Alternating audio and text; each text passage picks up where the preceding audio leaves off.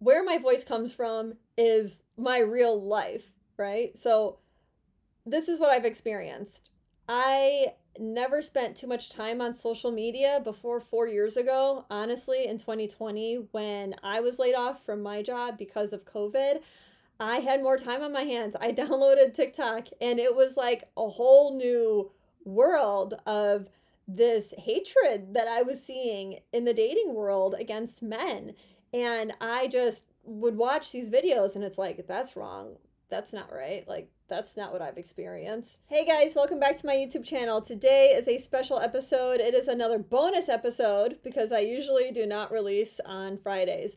But today is a special one because it is actually the 50th episode. And so I wanted to do something a little bit different today. I was about to do a video on more double standards, but decided I would save that for next week and have this special 50th episode in which I almost have 450,000 followers now on YouTube. It might be there by the time I actually post this video, but I just want to say thank you guys for for following me, for enjoying my content, for giving me feedback. I love it when you guys leave me a comment, even when you disagree with me. Um, I think that really helps grow like my own personal perspective on men. And I know that I generalize a lot because you got it to some degree, you know, when you make content like this, but I understand. I have a full understanding that there's going to be outliers within that generalization. Please keep giving me your perspectives, your opinions. So, before we get started, I want to do one special thing that some of you, speaking of comments, some of you have been telling me to do that I I need to do. And it has to do with my setup here. And no, it's not to close my closet doors. It's something else. Some of you may have also noticed this. Yes, it does still work. It's an in-home intercom. I have an old house and every room has one of these. I do not actually utilize it, but it is fully functioning. Gosh, I feel like we could say that about a lot of things. Okay, anyways, well, if you haven't guessed yet, does that look better? I can't tell. I have numbers running on my thing. So hopefully that helps you guys focus on what I'm talking about rather than that annoying cricket picture. Guys, that is not the most special thing in this video today. I actually will be right back. This is the most special thing in today's video. Baby girl is gonna join us. Oh, she sees herself.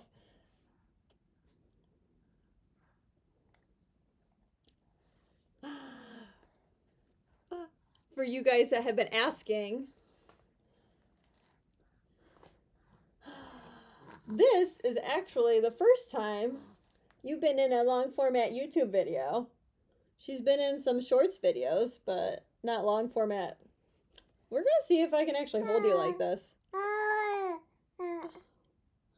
she says hi. She says hi. Yeah.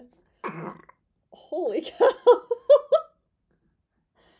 You're not supposed to do that the first time I introduce you. Be a lady. oh, she's just in heaven right now because there's so many mirrors and then she can see herself in this video as well. Other than seeing this cutie, I'm going to answer five of the most common questions that I get.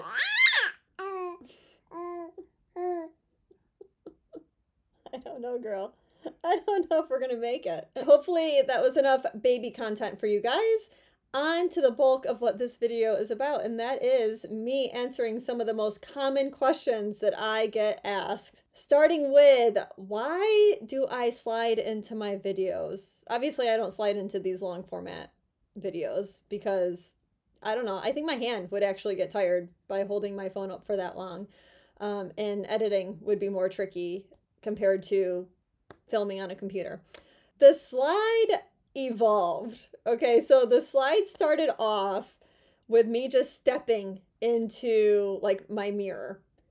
And the mirror shot started because you know, that was kind of a thing on TikTok where if, you know, you were kind of talking to the audience or talking to yourself about something that you were passionate about, it would be through the mirror into the phone. And there's just something about that. Like, I sometimes feel odd just talking to the camera. Even when I'm talking to this camera, I actually have my vanity mirror behind it. And I find myself looking at it quite often because I don't know, it, it feels like you're almost talking to yourself, giving yourself advice. And it's easier to be like more passionate about it compared to talking to really nobody and talking to a screen. So I have this huge mirror in my room that I've had for years and it's actually from IKEA. Shout out to IKEA. And that was kind of like the best lit spot in my house, especially compared to my bathroom. My bathroom is as old as this this intercom. So no one wants to see that. um, so I started off in my bedroom using the mirror. I do have all hardwood floors throughout the house. And so what started off being stepping into the shot, it just became natural and easy for me to slide into the shot because the other thing is that I live in a cold area. Like so I live in New York, upstate New York, and I wear socks. Okay, like my feet would be freezing year round if I didn't. The other part of this is that I developed my shot with my phone by like swooping up and swooping down in the initial slide. And that is because at the time, TikTok had a big thing about like looped videos. I mean, it still does. That's how the FYP plays, is that it will loop the video until you swipe up.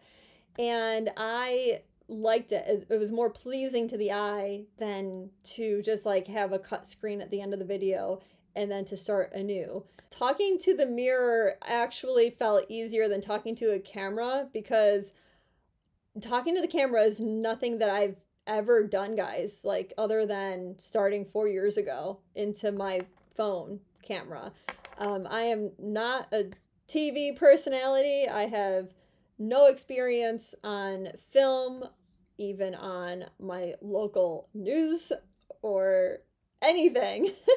Um, I think that I don't know. I don't think that I've done anything on camera other than being filmed probably for one of my presentations in college. Question number two Why do I stand up for men? All right, this is very, very commonly asked of me. Um, and I never feel like it's coming from like a bad place. I really always feel like it's coming from a place of curiosity and I will give you my straight up answer is because I've had good experience with men in general in my life. Um, I have an amazing father. I have two older brothers, and uh, the one that's two years older than me, we fought like cats and dogs when we were younger. Uh, but I have the utmost respect for my older siblings, and they are very much good men. They are family men. They have, I don't know, I watch them. I didn't really watch them date, honestly. Like, I just watched them choose a woman and date her, pursue her, and marry her and have kids with her. I never witnessed any amount of bad intentions from the men in my immediate family and the men even in my extended family, to be honest. The other huge part is that I have a son. I have a seven year old boy, and I also have an older daughter, and then a younger daughter, and then also a stepdaughter. Uh, we'll get into that. I'm going to get into that with another question that I get asked. But my, for my son, like, he he's like oh, he's like the sensitive but tough kid. Like he's that balance of having like really strong emotions and I I love that and I support that in him all the time. I just he's such a sweet boy, but he also like wants to be tough, you know, and strong and I just think about the future for him, you know. I I think about how I would want a woman to treat him because he's so internally good. I mean, every child is born with such good inside of them. And I hate when that perspective cannot be taken for children in general, but like especially boys and men. Like, where is that switch? Because I think that in society, we view these like boys are amazing, they're wonderful. And then bam, like, what is it? Like 16 years of age or 18 years of age. And it's just, it flips on them. And I can't imagine like putting myself in their shoes and experiencing that sort of switch from how I see people are viewing me. The other part of this is that where my voice comes from is my real life, right? So this is what I've experienced. I never spent too much time on social media before four years ago, honestly, in 2020, when I was laid off from my job because of COVID.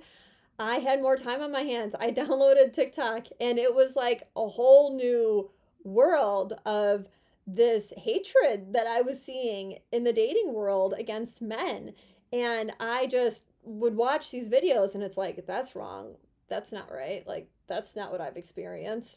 And so I really just wanted to give that perspective of voice. And that's what made me really start some of my really basic, like five to 10 minute videos. And it obviously hit a nerve with a lot of men and women. A lot of men are not allowed to defend themselves on social media, like they just get ripped apart. So I think a woman giving that message somehow was a little bit more well received and I got through some of the what happens to men a lot of times on especially TikTok where you know you end up saying some things and you're just like banned you know? You're you get reported more easily. I went through my fair share. I have gone through my fair share of getting reported but somehow have made it through. And I do think that that has to do with me being a woman which is just another bias right? We could talk about that double standard so the other little little piece is that like I generally like to be helpful to people. I went into the medical field after college and that is because I naturally like to help people. Like I get a lot from that. I was never somebody that chased money. Like if I wanted to have done that, I would have gone and been a lawyer, honestly. I'm glad that I didn't like that's not where I felt like I could have gotten like life satisfaction from.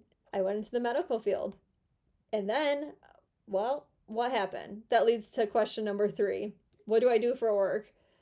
I am a full time content creator now. I have been for about two and a half years. And before that, I was a full time physical therapist.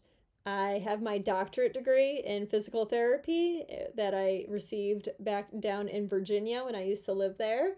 I loved what I did right up until I stopped doing what I did.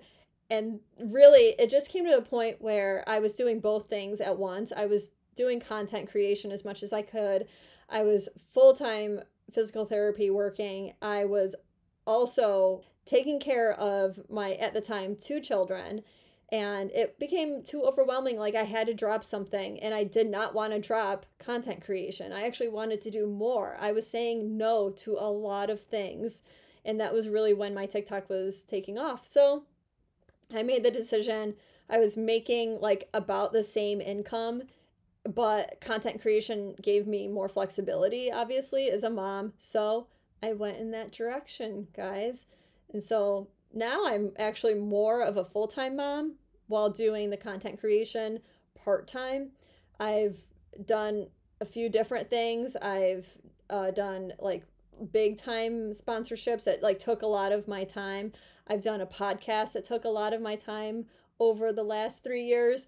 And I've said like no really to almost any podcast. That's why I'm not on podcast, guys, at this time. It's just because I can't travel and um, I'm I'm just really more of a full-time mom doing this doing this content creation on the side. I hope you guys are not getting bored by this. I don't I don't know if you guys sense this, but I don't like talking about myself that much. so, let's let's keep number 4 short. This is a short one actually. How old am I? I just turned 38. There's your answer. Just short, sweet and simple. Leading to number five. A very common question that I get is Am I single? I don't do like a lot of family content, so obviously that's why I get this question.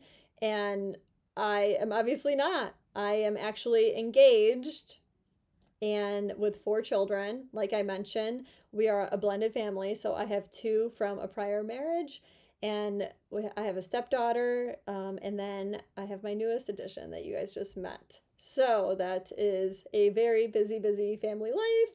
And no, I'm not single. There you go. That's it. It's, I don't know if you guys want elaboration on my on my history. Some of you guys may know, but I realized that like I used to talk about that a lot more on TikTok because when I got on TikTok, it was actually when I had been separated and I was going through my divorce. So, I don't know if you guys want to know more about that. I'm willing to share it with just one minor detail that I I might not talk about much and that's in order to protect my two kiddos, my oldest ones. But if you guys want to hear more of that, leave a comment and maybe we'll do that. Maybe on like the 100th episode. Maybe. Maybe I won't make you wait that long. I don't know. Anyways, guys, I will see you next week. Double standards probably next week.